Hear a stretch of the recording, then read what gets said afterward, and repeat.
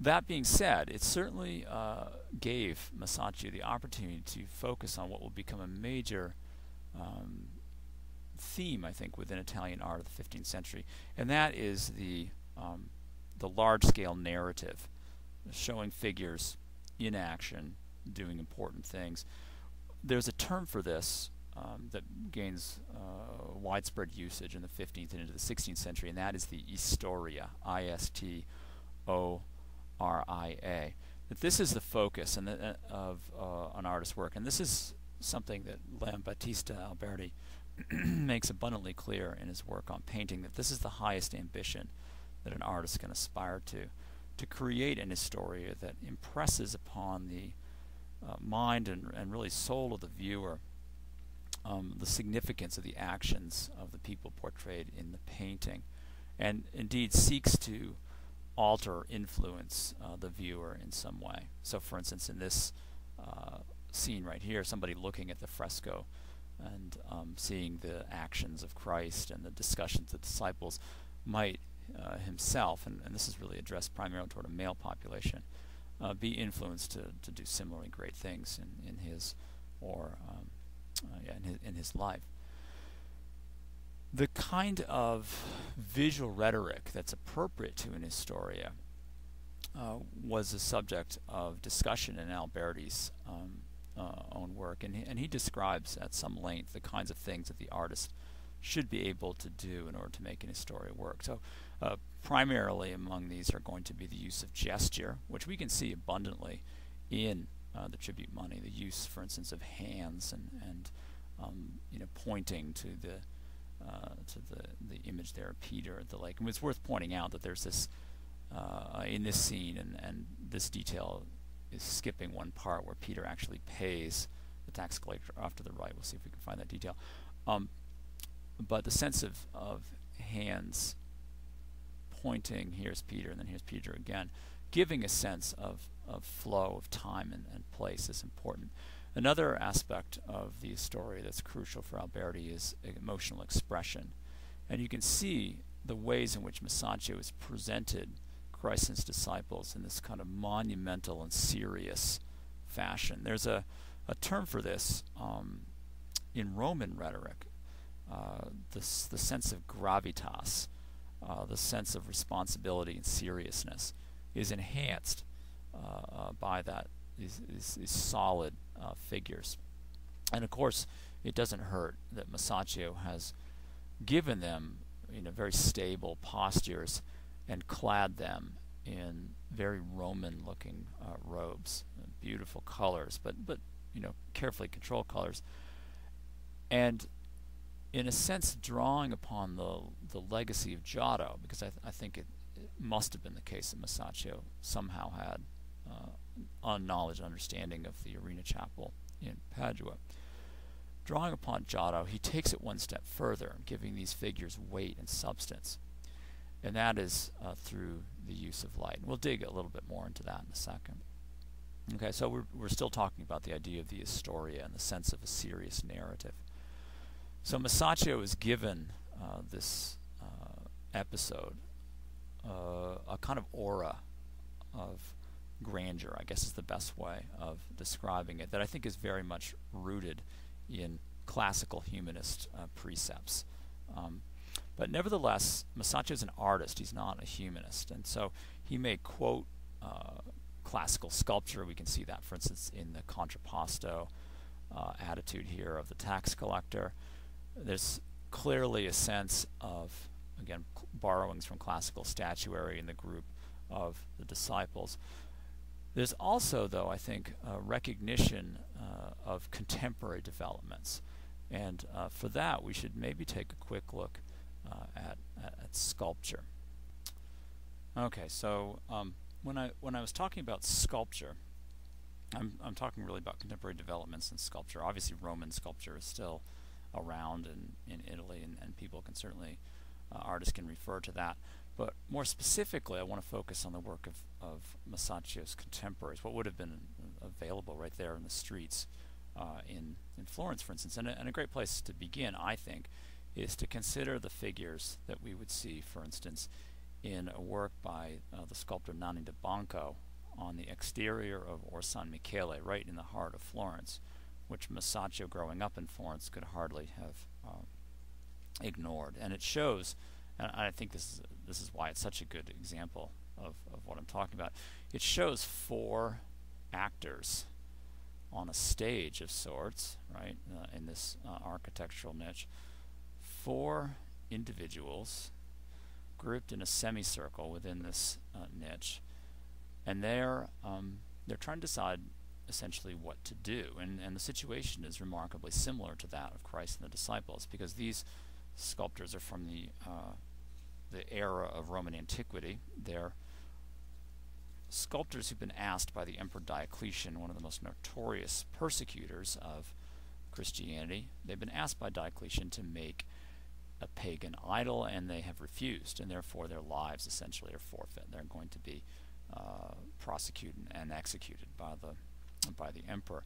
So I think it's very, very likely, especially given the strong visual similarities, the robes, the distinguished uh, postures and gestures of these figures, it's very, very likely that Masaccio drew upon uh, this sculptural uh, group in particular for inspiration, understanding of how to organize uh, figures uh, in a uh, in a group, thinking and doing serious things, and and we can see the use of, of contrapposto, the sense of weight shift is very strong in Nanni da Banco's work, as you can see in this figure right here, moving weight from one leg to the next, uh, one leg uh, to the other. The uh, the term being contrapposto, C-O-N-T-R-A, P-P-O-S-T-O, uh, technique that was uh, perfected really in the era of Greek art and preserved in, in uh, Roman Roman art as well. So I, I think that looking at Nanni da Banco as a point of comparison, I think is very strong. And the sense of three-dimensionality and relief, which is another important part of uh, Italian art theory at the time, is also evident in this group. And I think that uh, Masaccio must have, again, derived inspiration for his perhaps most inventive visual technique, and that is a good uh, understanding of the properties of light. Now, in this uh, in this way, I, or at least in this section, I, when I'm talking about light, I want to try to draw a distinction between the way that someone like Jan van Eyck, for instance, might perceive and, and represent light and the way that Masaccio does.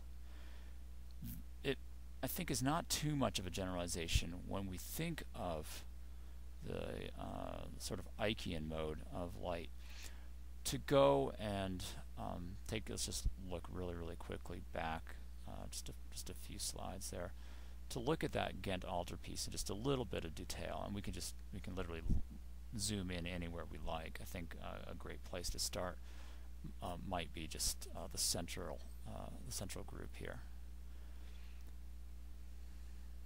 And as we close in on uh, these figures, we can see the extraordinary uh, precision with which Jan van Eyck has shown the way that light lands on the surface of things, right? So for instance, this scepter right here is clearly made of crystal or glass. The reflective properties of gems and, and so on. And, and, and the extraordinary accuracy uh, with which Jan van Eyck has represented this sort of draws us in uh, to his world, his visual world. But something that's a little bit lacking, I think, and, and we can maybe sense this as we pull out just a bit, is the idea that these figures possess a kind of independent three-dimensionality. There's still this feeling that they're somehow within the matrix of the painted panel. Okay, that the space that they inhabit is not entirely believable. And this is not helped, for instance, in this group of angels on the left by the sense of compression, for instance, uh, the space they occupy.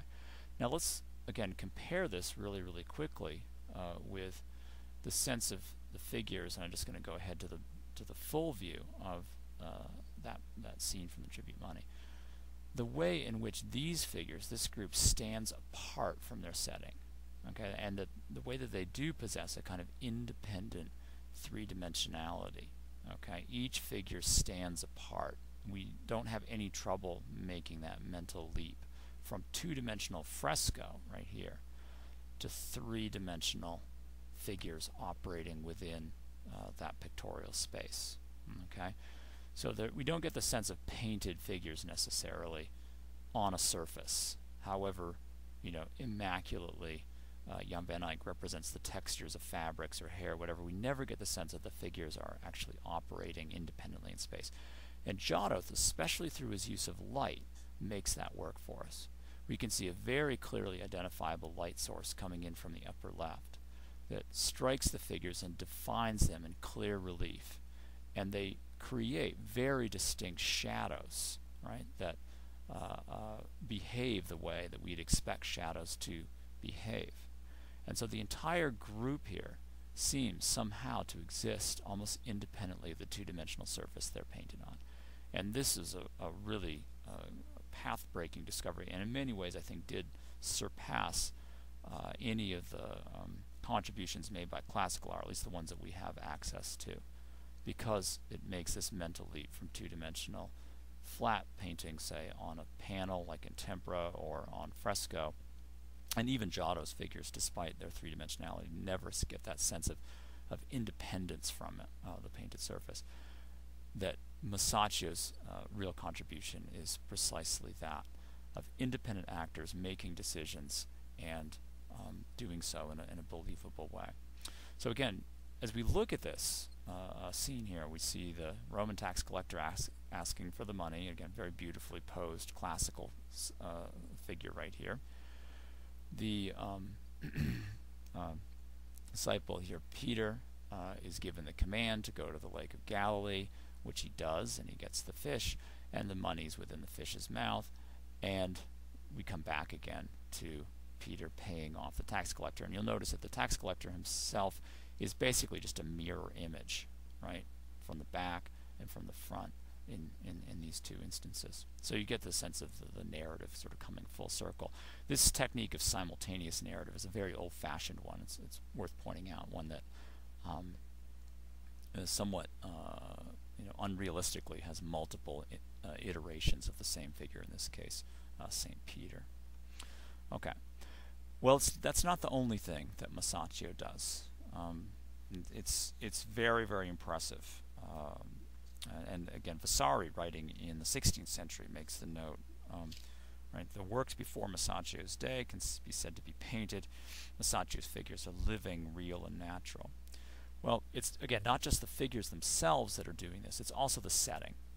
So Masaccio presents the viewer with a coherent, total environment in which to uh, uh, do uh, the things that that are important, the things that we look on uh, at, that we view, and to show you what I mean by that, we see the ways in which, for instance, he's incorporated linear perspective in the building to the right. There's this little loggia-like, this porch-like um, area right here, very nicely done, again, in terms of light and shade.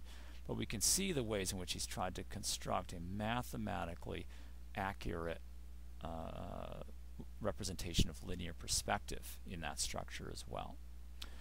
And then, to take it uh, further and deeper into space, he creates a uh, landscape in the background which moves very, very subtly but effectively from relatively close up. So, for instance, we can see here uh, hills with the characteristic dividing hedges and and uh, trees and, and small uh, uh, houses and, and villages, what have you. And then as we move further back and this is visually, we're basically just moving along here, we can see those details begin to fade away and then they begin to disappear altogether and the mountains become much paler and more blue.